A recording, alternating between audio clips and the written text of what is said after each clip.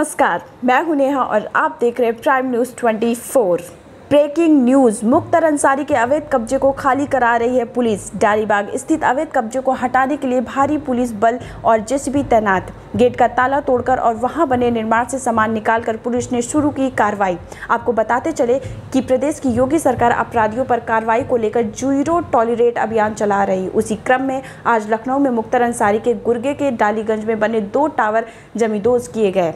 LTA police प्रशासन समेत 250 से अधिक पुलिसकर्मी और 20 से अधिक जेसीबी मशीनें पहुँची। डालीबाग में है मुख्तर अंसारी के गुर्गे का बताया जा रहा है tower. Madhyanchal bureau R P Shukla की रिपोर्ट।